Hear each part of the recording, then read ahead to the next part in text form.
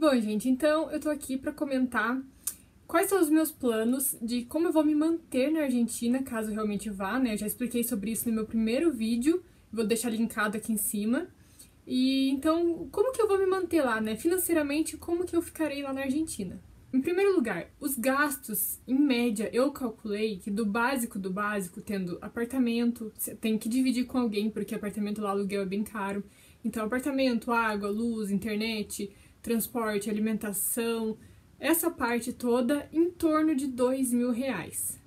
É, mas assim, eu não tô lá, né? É o que eu pesquisei daqui e com a experiência de pessoas que estão lá. Então eu calculei mais ou menos isso, é, calculando assim o básico, né? Tudo que eu preciso pro básico. E lógico que isso vai variar também de acordo com o teu estilo de vida e com os bairros que você vai morar lá e tudo mais. Eu fiquei ali no intermediário. Uma coisa que eu notei, assim, que o pessoal fala muito, é que o transporte público lá é muito barato.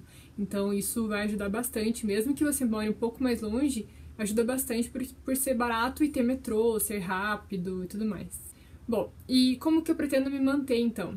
É, meus pais vão me ajudar em parte, a, vão enviar dinheiro, e outra parte eu pretendo. Porque assim, eu sou cabeleireira formada, eu trabalhei por anos em salão de beleza.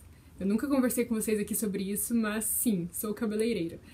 E isso é uma coisa que eu pretendo fazer lá para ajudar financeiramente. Então, trabalhar como autônoma na Argentina. Então, trabalhando como autônoma com isso, vai me ajudar bastante a pagar as contas enquanto eu estiver lá.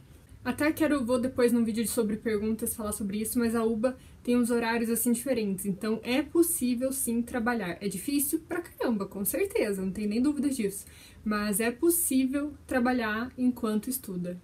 Outra coisa que eu penso também é ver se o YouTube se torna um pouquinho rentável para mim, pelo menos que cubra os gastos de um lazer, alguma coisa. Então, curtir, compartilhar, seguir, não, inscrever-se, né? e tudo mais aqui no canal me ajudaria também financeiramente em relação a isso. Então, o YouTube, quem sabe, possa futuramente me ajudar um pouquinho enquanto eu estiver lá também.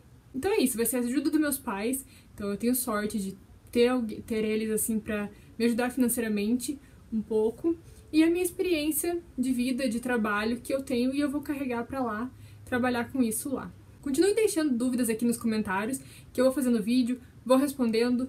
Quando eu puder, já vou respondendo vocês. E assim a gente vai trocando informações e tanta gente curiosa para saber como que é estudar no exterior. Eu também, né? Ainda não fui. Mas é isso, vamos trocando experiências e, e descobrindo novas coisas.